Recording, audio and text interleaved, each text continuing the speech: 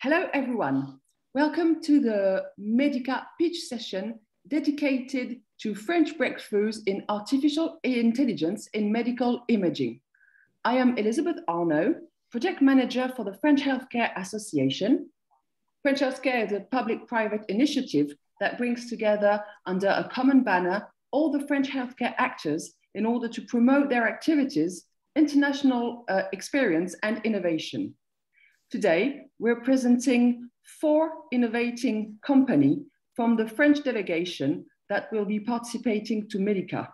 I'm calling Intrasense, AZMed, AE Screening, and Milvue. Each company will have five minutes to introduce themselves, their technology and solutions. We're now ready to get started and I am so introducing Intrasense. Thank you, Elizabeth, and also thank you to let me kicking off uh, this presentation. So my name is uh, Ludovic Dome, so I'm international business developer at Intrasense. Um, I will briefly present you the, the, the, company for those of you who, who don't know. Um, we leading innovation in medical imaging since uh, 2004. Uh, we are based in France and we have few subsidiaries uh, all around the world we invest uh, now and each year 30% uh, of our revenue uh, in the in the R&D. And to give you a quick example, and also an example that it's really really make the the, the news. we were the first application to release the first company to, to release a COVID application, uh, which were registered in FDA. So now we said this um, this 30% of revenue uh, in, R&D makes us to be able to, to, to do these kind of things uh, during, uh, during, I would say, uh, the, the, the, pandemic. Um, what we do, uh, we do a project uh, which named Myrian. So in, in the next slide, you, you will see that we, we provide a software dedicated to medical imaging uh, we are able to read any type of DICOM images and doing, uh, I will say, any type of post-processing, whatever the, I will say, the, the brand of the, of the modality, which means that we are able to, to have one and single interface to do any kind of uh, reading and post-processing. It's really intuitive to use uh, because we do software and software only. So we, we have a lot of experiences in, um, in user experience and then it's a full integral solution. So basically what we have is we have a platform which answer to 80% of the, of the radiologists, and we'll able to plug what we call clinical app dedicated to an organ or disease. And this clinical app and the platform is a complete integral solution. That means all, uh, that meets all the radiologist needs. So now we, uh, we have AI, we have the clinical workflow and we are also able to put the AI from other company or also ours uh, AI. So as I told you, we have the, the, the clinical apps dedicated, for example, for the breast in MRI, prostate MRI, oncology follow-up, vascular things, liver surgery planning, uh, the COVID, the COVID protocol, for example, or also colonography. And we, we are well we, we, we know that we have some company that they're de developing uh, AI uh, and we are able to put this AI in, inside our solution, inside the same interface. Because, and I will conclude, uh, I will conclude with, uh, with, with, that, uh, we think that AI needs to meet uh, clinical workflow to be efficient and to be used by the radiologist. This is what we, what we really, really think. So thank you. Thank you very much, Ludovic. That sounds very interesting. Um, now, please let me introduce you to AZmed. Thank you, Elodie. So hello, everyone. I'm Liza Alem from AZmed, a French startup that has been founded in 2018. Our aim is to improve healthcare systems thanks to artificial intelligence. And today I'm going to show you how we do that. So over the last 10 years, we have noticed the explosion of the number of medical images in all the OECD countries. So next slide, please. So as you can see here, the number of medical images has increased of 100%, while the number of doctors to able to analyze these images has stagnated. So we are facing a shortage of radiologists for whom the workload is increasing. Uh, in the next the slide before, please. So there is one number that is really important to know is that on average, 92% of x-rays do not show any fractures. So it's time consuming and repetitive for radiologists to see all these images with no fractures. And as a consequence, radiologists and also emergency physicians are working with a lot of stress and sometimes they can make errors in their diagnosis. So to improve doctors' working conditions, as well as patient care, we developed Rayvolve, which is an artificial intelligence-based computer-aided diagnosis tool. So what can Rayvolve do? First, it detects automatically all types of bone fractures on standard x-rays for adults and pediatrics. Also, it sorts exams by priority orders into the viewer. And finally, it can be smoothly integrated on all types of viewers or PAC systems. It is important to tell you that Rayvolve has been the first AI medical device CE marked in France in its category. And we have done several clinical studies to prove the performances of Rayvolve. So here I'm going to talk about the two main clinical studies that we have conducted. So on the left, um, there's the first one with the Hospital Louis uh, from the AP-HP hospitals around Paris in France. The idea was to have performance figures about the solution in clinical use in the emergency departments of a big hospital. And here are the results. So we had 96% of sensibility per patient and 86% of specificity per patient. Now for the second clinical study I'm going to present you, it was conducted in a private center near Paris. So we collected 1,000 images analyzed by seven senior radiologists who participated, participated in the study.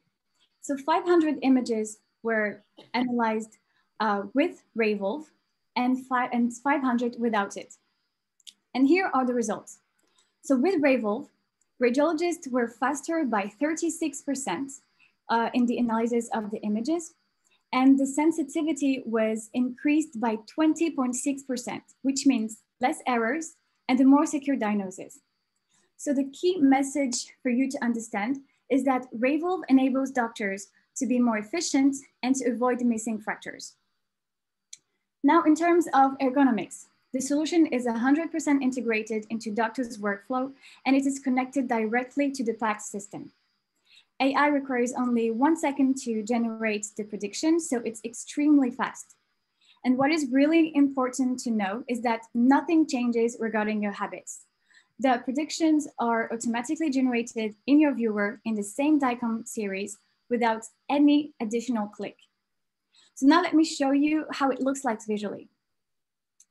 Here is a viewer with the DICOM series on the left, and you have the native image that you can analyze on your own. And now, if you use Rayvolve, you will still have the native image and you will have a duplicate where you can see the prediction made by the algorithm. Thus, you're not systematically influenced by the software and you can choose to look at the prediction. So now let's talk what, um, why AZMed? Why choosing us among other companies? So first, and I already said it, we are the first company to be CE marked, but also what is really important for us is that our algorithm are 100% custom made to provide best in class performances. I want to stress this point here because our methodology is quite unique and we are working really closely with each of our partners to provide them with the best algorithm trained and personalized for them. Also, the software is capable of analyzing more than 80% of the total volume of X-rays produced in imaging and emergency department, thanks to detection of bone fractures, but also the detection of pulmonary and cardiac pathologies. Because yes, what I didn't tell you yet is that in addition to an algorithm detecting bone fracture, we have a second CE marked algorithm specifically dedicated to thoracic pathologies. So the conclusion is that we have 90% of the partners that use the solution during the trial uh, phase who decided to keep the solution and to move on to a contract phase. So to show you where we stand today and the progression that we have uh, over the years at AZMed. So to remind you, AZMed was created in 2018, and since then, the company has been progressively growing. Today, we are more than 25 people at AZMed, uh, mostly AI researchers, software engineers, and radiologists. And as I said, there is more than 80% transformation rate between trials and contract. And it's even more important to keep this figure in mind since the number of partners has exploded over the years. So it is a very challenging uh, KPI to, to keep it as high, but it is very important for us to provide the best performances possible and to be extremely flexible for each partners. So today we have 2,500 partners and we hope that soon you will um, one of them. So thank you for listening. Thank you very much, Liza. That was absolutely great. Um, I'm now uh, going to introduce you to AI screening. Uh, your mic is off. Thank you, Elizabeth. Thank you for um, uh, inviting me to present. So here we're going to focus on our expertise about um, taking care of uh, images, not only in hospitals, but also in ambulatory care. Uh, eye screenings uh, was founded uh, in 2017. Uh, I'll go to that uh, slide in just a minute, Elizabeth, if I may. Um, and in, in a nutshell, eye screenings was founded in 20, 2017 we are now a 12 uh, people uh, company and we have uh, several um, medical devices that are already on the market. Uh, and uh, we started out out of uh, École Polytechnique, which is a leading engineer school in, in France. And we come, my founder, I'm the founder of the company, along with the, the, my associate. We have two complementary backgrounds since I've worked on um, chronic disease management, he and my uh, partner has worked on the medical imaging field for the past 10 years. Next slide, please. As part of the, the goal we imagined uh, four years ago, we started off as a platform that we called Alicia, uh, where basically um, in four easy steps, uh, we are uh, enabling the healthcare professional uh, at the hospital or at the primary care uh, office to upload its images uh, and have uh, feedback immediately on the images he's sending to the system. And then from a regulatory purpose, we may have a diagnosis made by the specialist or an autonomous AI uh, algorithm, which is our uh, current aim uh, when we are developing our uh, medical devices. And the fourth step uh, is having um, an application for the health patient uh, and monitoring the health processes so it can access his diagnosis, treatment, and follow-up. before we move to the next slide, what I thought, what I want to, to uh, illustrate in this uh, image is that we are able to tackle any medical images type uh, and we are able to provide an autonomous diagnosis, which is the aim of uh, the three algorithms I'm going to uh, provide you insight on. Uh, and currently, to keep our regulation status optimal here in Europe, we are a support to, to diagnosis um, algorithms. Next slide, please. So what we've done over the past three years, uh, we are, uh, we've got our uh, quality management system audited, uh, and we uh, were able to develop three medical devices, uh, two in the ophthalmology area and one in the dermatology. The first two initial ones are for diabetic retinopathy um, prediction, the leading cause for blindness and we've um, opened the, um, this opportunity to another area, which is the glaucoma, which is the second leading uh, blindness uh, of the world. And we are currently working with a leading uh, uh key opinion leader in France to uh, open our product to uh, age macular degeneration. Uh, so this is where we are getting our experience and expertise in ophthalmology. And we, based on our current expertise, we also developed a medical device on dermatology, and we're able to provide prediction on melanoma, which is the leading cause of cancer, of skin cancer. Uh, what makes us unique is not only have we been able to develop our own medical devices, but also we're able to integrate third-party medical devices uh, confidentially, confidentially uh, without us having access to that data. So in a nutshell, if uh, and uh, trying to summarize what I've just said, the added value we bring is that we are able to integrate uh, medical devices uh, into the, the software of doctors, of uh, software editors in hospitals, and with public and private payers. And that's the reason, uh, for instance, the government of Egypt chose us to deploy a large um, uh, screening project for diabetic retinopathy. Uh, from um, a business model perspective, I thought it was interesting to mention that uh, we are open to any uh, honest uh, approaches, but we usually work on a per user approach or uh, um, a model on, based on um, abonnement, which Elizabeth will help me translate in a minute. Mm.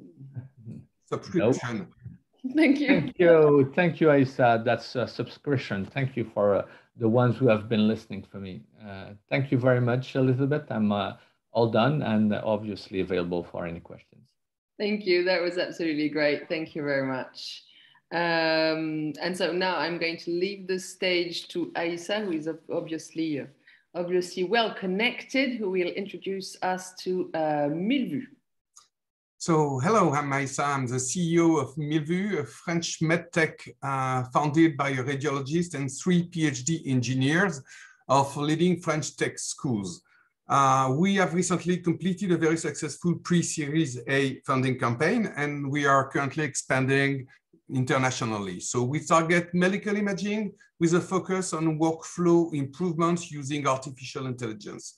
This approach has raised a considerable interest in the radiology community, which is experiencing, as it has already been mentioned, a rapidly increasing workload. So we started with the most painful part of medical imaging, which are emergency department, where x-rays are almost never read in real time. So this lack of real-time interpretation results in increased lengths of stay in the emergency department, increase error rates, both false negative and false positive, and of course, increase pressure on the emergency physician. The most current situation leaves A, the emergency physician alone with images, and B, radiologists with dozens, sometimes hundreds of, of x-rays to be read on the next reporting shift. What we provide is a real-time AI-based analysis of X-ray on our latest version of algorithm, we reach a specificity of 97% for a negative predictive value of 99%. In other words, almost no false negative and very few false positive. And this is basically the clinical performance of a senior radiologist. So let's take two rapid examples of what we bring, next slide please, of what we bring to physician on difficult diagnosis. Here we have a female patient working in the emergency department with a pain in the right hip region. After a clinical exam and x-ray, the emergency physician concludes to a minor trauma and prescribes painkiller. Milvue, next slide, diagnoses a non-dislocated fracture of the femoral head and avoids discharging this patient with a major pathology. Next slide. Uh, a young male arrives in the emergency department after a fall. The emergency physician suggests a rib fracture, which is negative to uh, X-ray. So the resident in radiology confirms that there's no rib fracture. And both miss, next slide, uh, the major issue, which is a wonderful pneumothorax, which is revealed by AI. So this is the kind of things we are bringing to physician in difficult diagnosis. Next slide. This solution on emergency is the first brick of a comprehensive Milvue suite, which also include automatic measurement to save time to technologists and radiologists, which are already available, as well as CT and MRI R&D programs. So automatic measurement can program very, sorry, uh, automatic measurement can provide very important and reliable information for orthopedists, but can also used uh, in emergency department. For instance, the Böhler angle is a very good hint for detection of calcaneum fracture, which are sometimes not visible on X-ray. In the same way, angles between vertebrae and lengths between bones and soft tissues are excellent markers of fracture of the cervical spine, which might also not be visible on, on X-ray.